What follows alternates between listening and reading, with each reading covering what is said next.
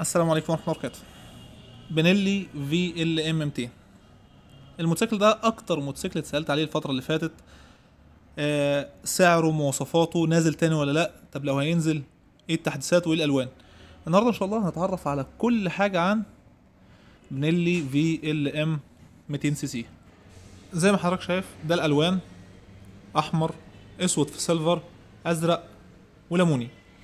ألوان مميزة ولكن هل في تحديثات عن الإصدار اللي فات ولا نازلة زي القديم؟ لا.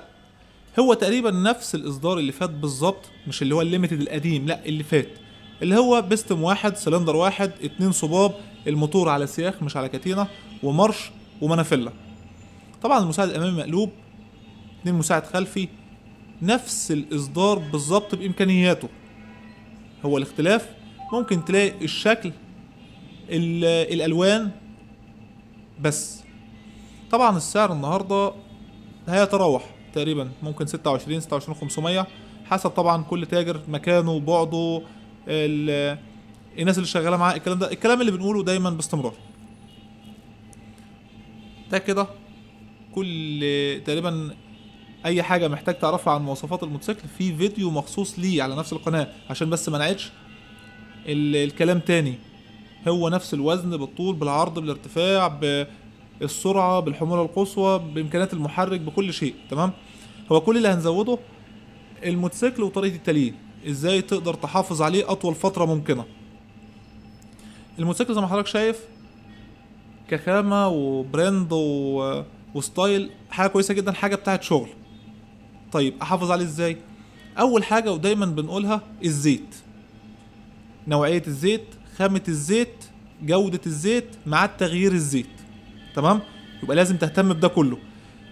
اتنين فترة حضانة الموتوسيكل اللي هي فترة التليين وده أهم فترة في عمر المحرك أو في الموتوسيكل كله وعلى فكرة في أي محركات حتى العربيات. فترة التليين دي أهم فترة للمحرك نفسه عشان تضمنه. كفاءة وجودة ونعومة صوت أطول فترة ممكنة بكفاءة عالية. تمام؟ يبقى هتلين زي ما إحنا قلنا في فيديو التليين. طب ألين إزاي؟ باختصار. أول حاجة هتلين على الواقف يومين أو ثلاثة هتغير فيهم غيار زيت.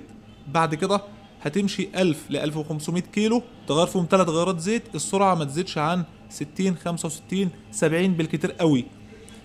ما تحملش على المحرك. ما تقرصش عليه. سيبك من الناس اللي تقول لك هسن الموتوسيكل.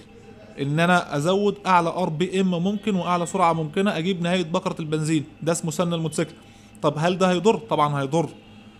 هندسيا وميكانيكيا وعقلانيا وكل حاجة هيضر معاك الموت- الموتور والمحرك. تمام؟ والموتوسيكل كله. فسيبك من أي حد هيقول لك أو هيتفلسف ويقول لك أنا بفهم أكتر من الشركة المصنعة. تمام؟ أحيانا أنت ممكن تعدل لكن تعديل مقبول.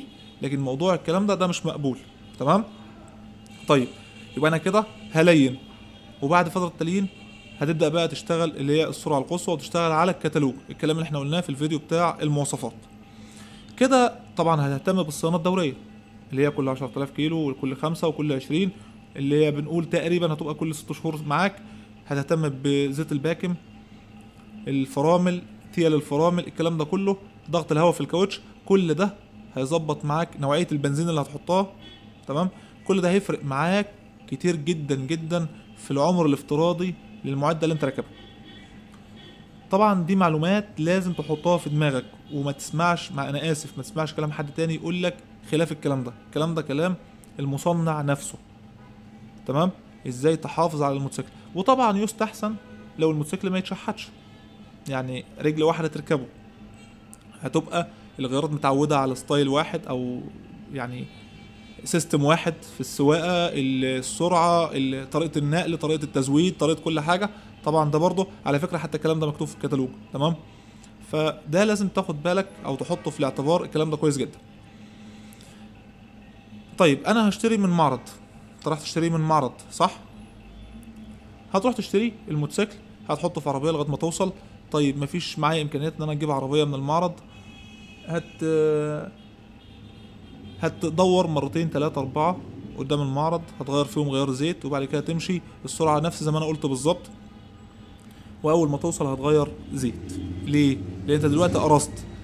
طب ينفع الين على الواقف بعد ما لينت على الماشي لا طبعا لأن ال RPM عالية وده إحنا يعني إيه؟ خلاص. هو الطفل خلاص كل رز ومعلش وخضار والكلام ده ما ينفعش أروح أقول له إيه؟ ارضع تاني. لا هو خلاص عدى مرحلة الرضاعة. تمام؟ فده تقريبا كل شيء عن بنيلي VLM 200 cc الإصدار الجديد. ده اللون الكحلي. أنا عندي أسود كحلي في, في silver أحمر أزرق كل شيء بالتفصيل. تبريد الزيت هو هو نفس المحرك ولكن على السياخ. طبعا لسهولة الصيانة و... وهيبقى معاك سهل في التعامل. دايما بقول الحتة دي مارش ومنافيلا الناس اللي كانت بتشتكي من المارش بس دلوقتي عندها عندك مارش زائد منافيلا عشان السهولة. تبريد هواء زائد تبريد زيت سربنتين الزيت برضه عشان لو هتسافر مسافات طويلة والكلام ده التبريد أفضل طبعا بكتير. الدواسات وكل شيء مثبت في الشاسيه زي ما اتعودنا في الموتوسيكل أو الإصدار اللي فات أو اللي قبله. ده طبعا ميزة كبيرة جدا. مطبقات الكلام ده انت ما انتش خايف على قواعد المحرك انها تتكسر أو تتقطم أو يحصل فيها أي مشكلة. الدواسه الخلفية الخلفية نفس الموضوع. كربراتير وفتحه شكمان واحدة.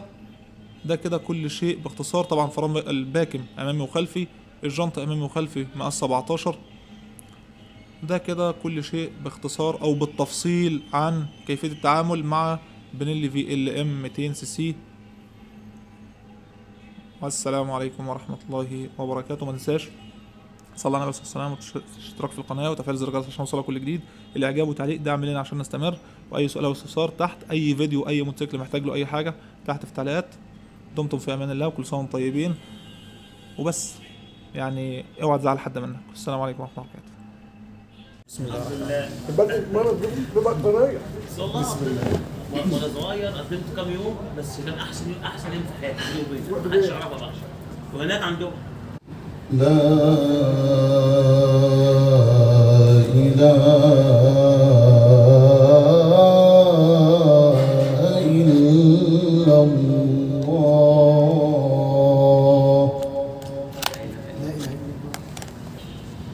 سيدنا محمد رسول الله.